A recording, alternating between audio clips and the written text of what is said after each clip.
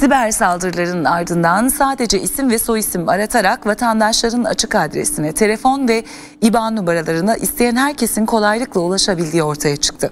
85 milyonu da tehdit eden güvenlik açığı haberlerinin ayrıntıları TV100 muhabiri Halil Sadri Yılmaz'ın özel haberinde.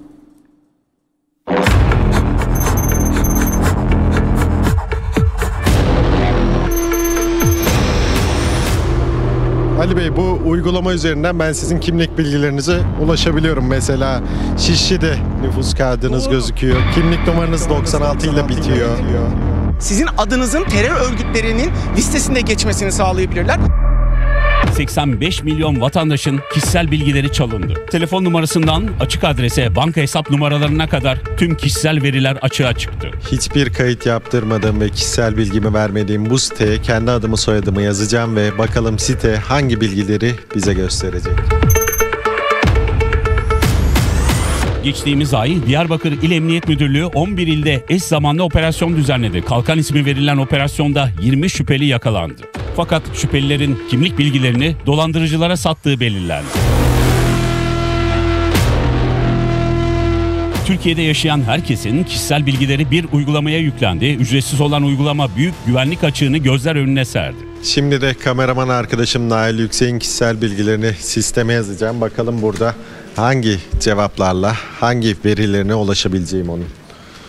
Ee, gördüğünüz gibi burada kimlik numarasından annesinin babasının kimlik numarasına hatta kimlik numarasıyla da arama yapabilirsem açık adresine, telefon numarasına ve hatta IBAN numarasına bu sistemden ulaşabiliyorum. 7'sinden 70'ine kadar herkesin kimlik bilgileri açığa çıktı. Buna adli bilişim uzmanları bile dahildi. Gerçekten ben de şaşırdım çünkü bu tarz bilgilere ulaşılması son derece güçtür.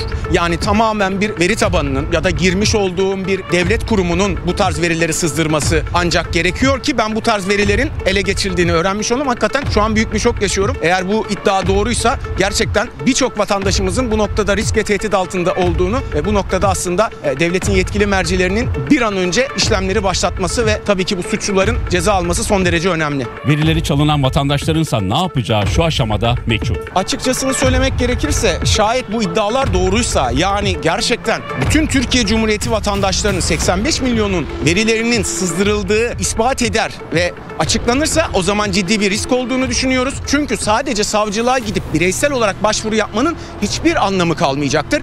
Burada artık devletin otomatik olarak e-devlet sisteminde güncellemeler yapması gerekmektedir. Güvenlik açıklarının kapatılması ve çok daha derin koruma yöntemlerinin entegrasyonu son derece önem arz eder.